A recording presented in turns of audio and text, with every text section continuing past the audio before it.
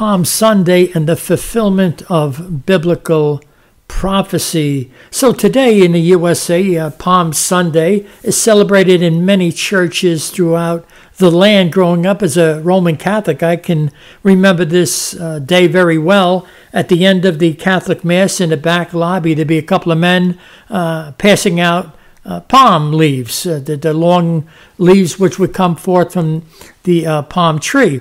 I used to get a nice big piece if I could, and then I would go home and cut it into smaller pieces. I used to make little crosses out of it. You take one piece, put a little slice in there, and uh, insert one piece into the other, and you have a cross. Sometimes you'd put it in your car maybe tie it around your uh, rear view mirror or put it on the dashboard or something. You know, I thought it was uh, a cool thing to do. I thought it was holy. But I didn't know the Lord. I was on my way to hell, as I always tell you. I had no idea uh, basically what I was doing. I just knew that uh, you were getting something on Palm Sunday. You know, people used to uh, talk about certain people who would only go to Catholic Mass uh, on Palm Sunday uh, and Ash Wednesday. They used to call them A and P Catholics. I thought that was kind of funny. But anyway, uh, so this is the day that is celebrated today. But many people uh, do not realize that this day, which is celebrated, was uh, actually a day that was the fulfillment of biblical prophecy. That's what makes uh, this day exciting. So let's go to uh, the New Testament book of Matthew, chapter 21. We're going to look at verses 1 through 9. It says, And when they drew nigh unto Jerusalem and were come to Bethphage, uh, unto the Mount of Olives, then sent Jesus two disciples, saying unto them, Go into the village over against you, and straightway or immediately ye shall find an ass tied, and a colt with her. Loose them, and bring them unto me. And if any man say aught unto you, ye shall say, The Lord hath need of them, and straightway or immediately he will send them. All this was done that it might be fulfilled, which was spoken by the prophet, saying, Tell ye the daughter of Sion or Zion, Behold, thy king cometh unto thee, meek and sitting upon an ass and a colt, the foal of an ass, and the disciples went and did as Jesus commanded them, and brought the ass and the colt, and put on them their clothes, and they set him, meaning Christ, thereon. And a very great multitude spread their garments in the way. Others cut down branches from the trees and strawed them in the way. And the multitudes that went before and that followed cried, saying, Hosanna to the Son of David. Blessed is he that cometh in the name of the Lord. Hosanna in the highest. Glory to God. So, as I said, this event, ladies and gentlemen, uh, that took place and which uh, today they're celebrating Palm Sunday. Let me explain how they came up with that uh, title, Palm Sunday. So uh, here the Lord, he, he, he knows he's going to be riding into Jerusalem. He's going to be coming in just the way the prophet said he would. So he sent his disciples and said, Look, go get this ass in this uh, cult and bring them to me. If anybody says, you know, why you're doing this, just tell them that the Lord has need of them. And that's exactly what happened, by the way. So the Lord was actually prophesying. He knew all things. And it's exactly what happened. Somebody uh, saw what they were doing and said, What are you doing here? And, and they turned around and said, The Lord has need of these. And he said, Okay. so it's, it's pretty cool the way prophecy works. It said, All this was done that it might be fulfilled, which was spoken by the prophet. So this uh, event that took place with, with the Lord telling his disciples to go get that colt and the ass and so on, it was all prophesied. You'll, we're going to get to that in a couple of seconds here. So, uh, what we learn here uh, is that prophecy was fulfilled, as I said. We learn that Jesus Christ was a king because he's fulfilling the prophecy of a king, okay? coming into Jerusalem. So let's see what else we can see here. Let's go back to Zechariah. That's the Old Testament book, uh, chapter 9, verse 9. This is the prophecy that we are talking about. It says, Rejoice greatly, O daughter of Zion. Shout, O daughter of Jerusalem. Behold, thy king cometh unto thee. He is just and having salvation, lowly and riding upon an ass, upon the colt, the foal of an ass. So, we see if Christ fulfilled this prophecy, folks, that he is the king, as I said once again, he's the king, he's just. And it says he having salvation. Salvation is found in the king, and Christ is that king. Christ is the prophesied king that the prophet Zechariah was speaking about. He's the Messiah. He was the Messiah that the people of Israel were waiting for, but missed for the most part.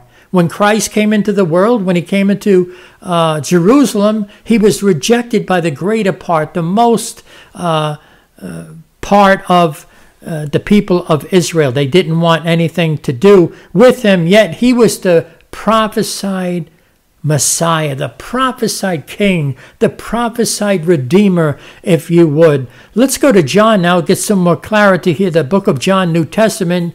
We'll go to chapter 12. We're going to look at verses 12 through 16. It says, On the next day, much people that were come to the feast, when they heard that Jesus was coming to Jerusalem, took branches of palm trees and went forth to meet him and cried, Hosanna! Blessed is the King of Israel that cometh in the name of the Lord. And Jesus, when he had found the young ass, sat thereon, as it is written, Fear not, daughter of Sion or Zion. Behold, thy King cometh, sitting on an ass's colt. These things understood not his disciples at the first, but when Jesus was glorified, then remembered they that these things were written of him and that they had done these things unto him. So we, we learn here uh, in the Gospel of John, it says they took branches of palm trees. Do you see that? So this is how we uh, they came up with uh, that uh, holiday, the Palm Sunday. You see, Palm Sunday. So it, it, was a fulfillment of prophecy. The time when Christ, the prophesied king, would come into Jerusalem, the one having salvation. So he's called here the King of Israel. Don't miss this, folks. So, what does this say, uh, ladies and gentlemen, when you think about it? Uh, for the most part, the, the majority of the people of Israel reject Christ until this day. They don't believe he's the Messiah. Oh, no, they don't. I've spoken to many Jewish people. They think you're crazy uh, calling him Messiah. They brush you off. They think you're silly or something. So here, here we have, we, we believe in the Messiah of Israel. We believe in the true King of Israel. We know for a fact, if you've been born again of the Spirit, you know that He is indeed the Messiah, the fulfillment of this prophecy. He is the Redeemer. He's the King of Kings. He's the Lord of Lords. He's the Son of David. All of these things fulfilled in the person of Jesus Christ. Hallelujah. So we see John uh, made it very clear uh, that he knew that Christ was indeed the one who was spoken about in that prophecy. So uh, it's beautiful the way the scriptures work, folks. They, they, uh, they work perfectly together from Old Testament into the New. Let's go to Luke now. It says in um, Luke chapter 2, verses 22 to 32, it says, And when the days of her purification, speaking of Mary, according to the law of Moses,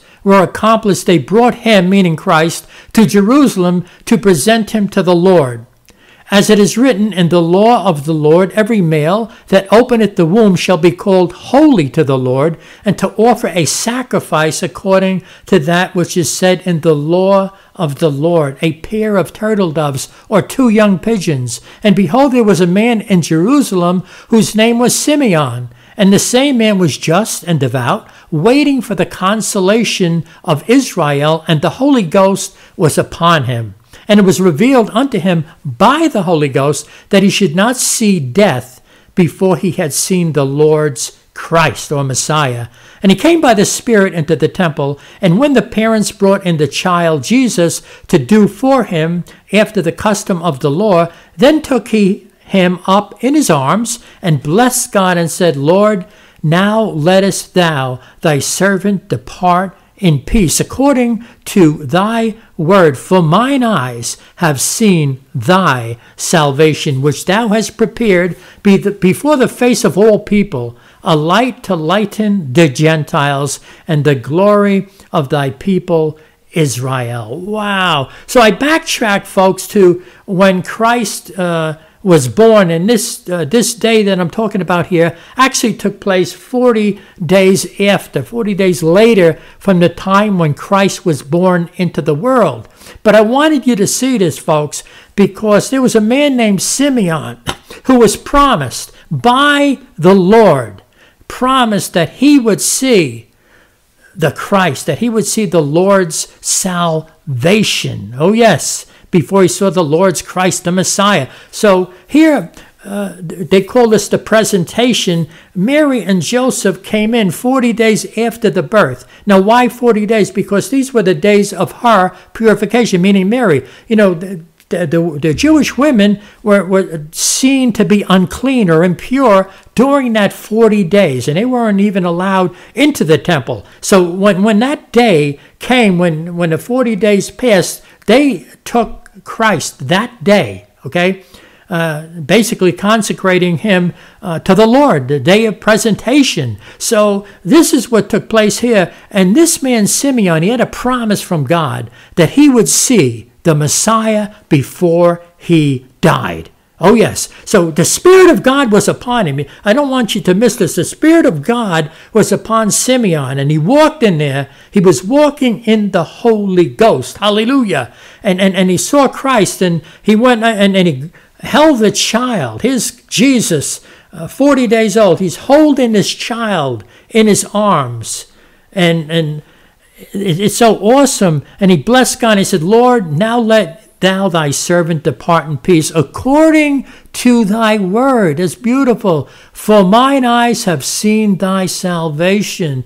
And I bring this uh, to you because you remember when, when Christ came riding into uh, Jer- Jerusalem, it says he was having salvation. So here, here we have Christ as, as 40 days old, and, and this man promised by God would see the Messiah, and now the Holy Ghost was upon him, folks, and he knew it, and he knew that he was holding the salvation of Almighty God within his arms, and he's basically saying, God, let me die now. I can go because the promise that you made to me that I would see the Messiah has been fulfilled. So, what does this tell us? Well, it tells us that the Jewish people need to believe what this man Simeon believed that there's no postponement of the gospel, folks. Either they take this Christ that I preach to you today as Lord and Savior, or they reject him. Oh, yes. So this happened, what, close to 2,000 years ago, ladies and gentlemen. Think about that for a, couple of seconds. So here this man Simeon knew that he saw the salvation when he came as a young child. So here we have him saying that, and then we have Christ riding into Jerusalem having salvation. So if you're Jewish out there or Gentile, I'm here to tell you today that the Christ that I preached to you today, you need him. You die without him, you will die in your sins. You will die and you will go to hell. This is how real this uh, is, ladies and gentlemen. Let me close it out here with Acts chapter 4, verses 10 through 12. This was uh, the Apostle uh, Peter uh, speaking uh, with the Holy Ghost upon him. He said, Be it known unto you all and to all the people of Israel that by the name of Jesus Christ of Nazareth, whom ye crucified, whom God raised from the dead, even by him doth this man stand here before you whole. There was a man healed. This is the stone which was set at naught of you builders, which is become the head of the corner. Neither is there salvation in any other, for there is none other name under heaven given among men whereby we must be saved. So here we have Peter all those years ago, folks pushing 2,000 years. Come on, this is unbelievable. And he's telling them flat out listen, guys, This is the one, the salvation in no other name. Salvation is found in Christ alone. He came all the all those days ago, folks, almost 2000 years ago. So so the message of the gospel has not changed, folks. There's nothing postponed. It's either get in or stay out. Receive Christ or reject him. That's how plain this gospel is. It's either heaven or hell. It's either salvation or damnation. So what will it be for you? uh, my friend, whether you be Jewish or Gentile, what will it be for you? Have you ever come to the place where you received the person of Jesus Christ? Be blessed in the Lord.